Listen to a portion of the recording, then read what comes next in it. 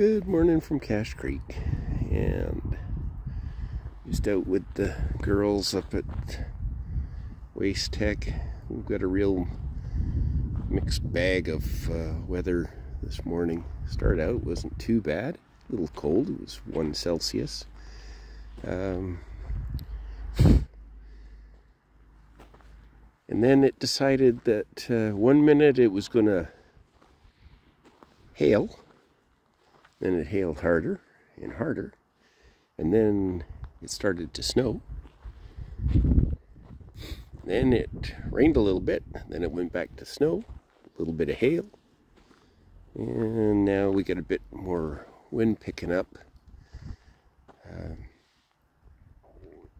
so, uh, yeah, it's just a real mixed bag of weather. Well, just decided to come up here instead of going up there somewhere. Um, just because I've taken most of the uh, recovery gear and stuff out of the out of my truck. Uh, reduce the, the weight. Uh, with the price of gas, uh, last time I think it was 2079 a liter for diesel in uh, Cache Creek. So uh, we haven't been doing a lot of driving around or uh, off-roading. The only thing that I've actually been doing as far as that goes was uh, uh, say just going up up the hills up there and just to the north on the crown lands and uh, taking the dogs out for for a walk. But uh,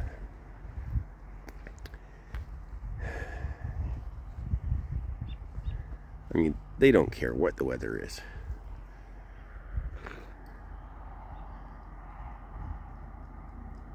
As long as they get out. it's nice uh,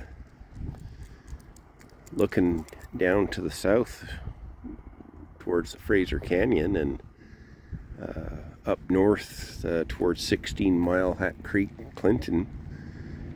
Sunny out that way.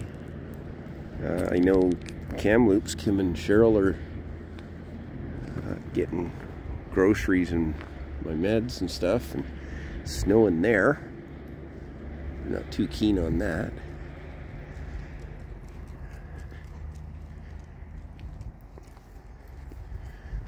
So, anyway the way life goes these days. So, excuse me.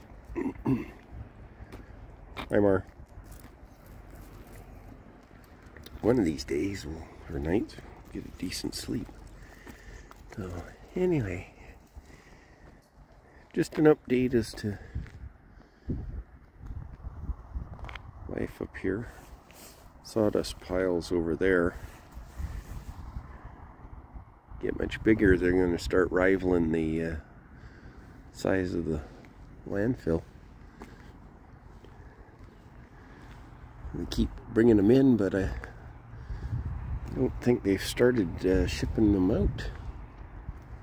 So I don't know if it's the mills aren't ready for them, or the trucks aren't ready, or they haven't got their uh, cleanup situation. They have to make sure the trailers are clean um, before they put the chips in because you can't have, you know, garbage and crud uh, getting mixed in. So,